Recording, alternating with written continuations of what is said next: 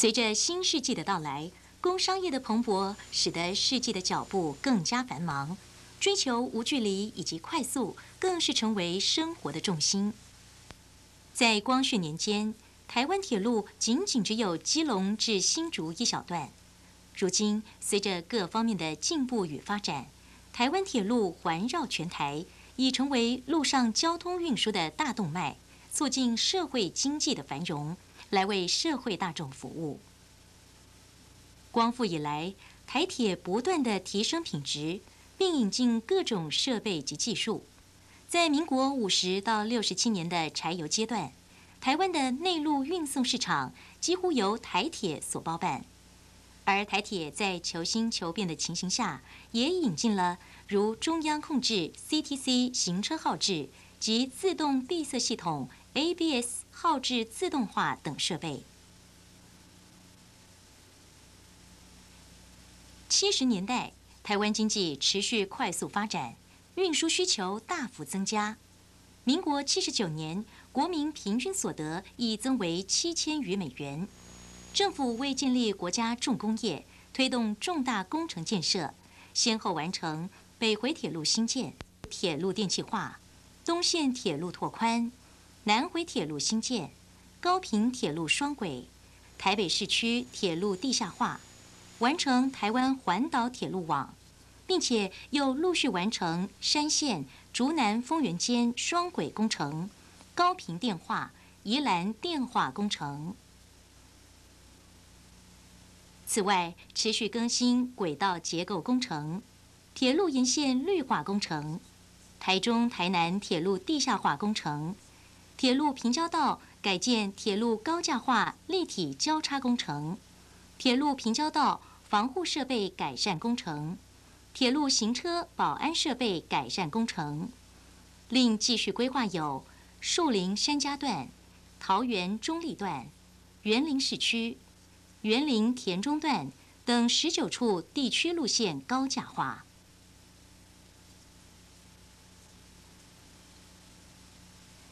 采购八百一十辆自强号及通勤列车等投资，均已全部投入营运，以增强运输能量外，并提供了安全、快速及舒适的服务品质。以四大经营目标：设备现代化、服务大众化、管理科学化、经营企业化的理念，确实的达成安全、迅速、便利、舒适等交通需求。然而，因都会区多项建设陆续开工，市区交通严重堵塞，而台铁为了要提供旅客更大的方便，极力提高运能，以疏解各站尖峰时期通勤人潮。另外，也提供了多元化的资讯服务，旅客可借由电话、传真或电脑等多媒体触控查询导览系统，来查询任何需要的资料。并且积极开办支线旅游、观光列车旅游及环岛自助旅游等活动，使得环绕全台的理想实现。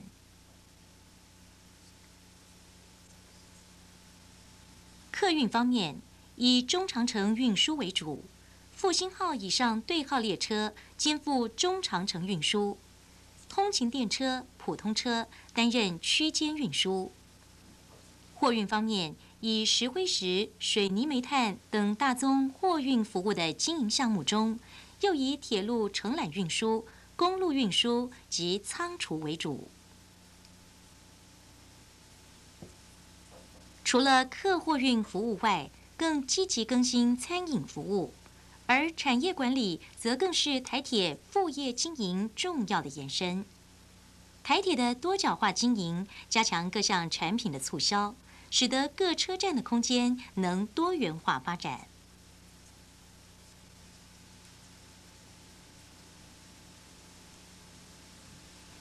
台铁为了提升服务品质，推行了一系列与民众相融合的活动，就是为了要突破旅客对于国营事业的刻板印象。在此，台铁全面开放电话语音及网络订票。旅客可以在任何的电脑售票车站及全省各地邮局取得锁定的车票，车站内设有自动售票机、旅客咨询系统、LED 看板显示器，增设候车室座椅，改善旅客进出站动线，新建跨月台天桥及人行地下道，全面整修新建车站盥洗室，改善无障碍设施，及提供平价各类餐饮服务。于国定假日时加开班次列车，以疏解人潮，节省旅客的时间，使旅客们都能准确的到达目的地。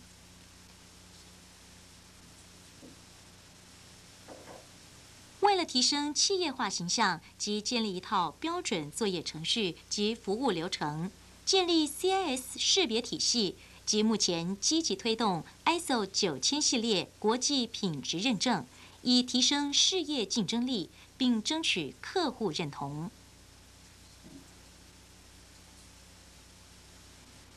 人事变革方面，包括了企划处、运务处、公务处、机务处、电务处、材料处、会计处、行政处、劳安室、人事处、政风室。与秘书室等十二个一级单位及货运服务总所、参旅服务总所与员工训练中心等三个局外一级单位。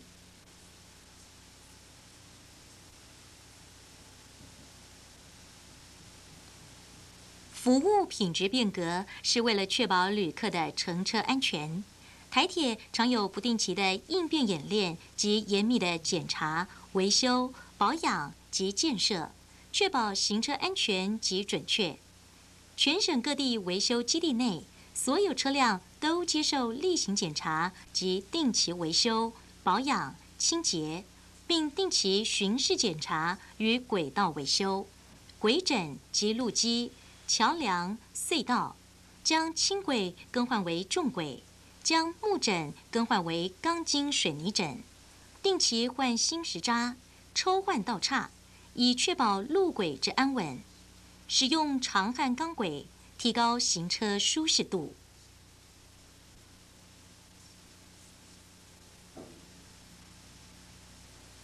安全运输变革是建立整体轨道运输路网，以规划建立台铁的路线、票证、组织及营运功能体系，建立环岛光纤网络，引进高科技施工技术。改进台铁施工品质，加强铁路员工平时紧急事故之应变能力，确保发生异常时有效的处理应应。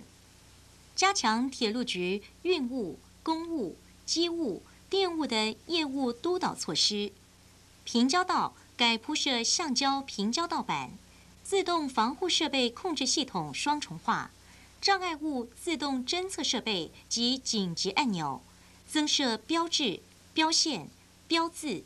并将平交道与道路红绿灯连锁，及装设自动照相设备，更新电车线，避免因常年磨耗而断线，更新各种耗制系统，建设光纤通讯系统，使用最新式电脑化中央行车控制系统，提高车辆调度效率与电脑售价数据传输的通讯品质。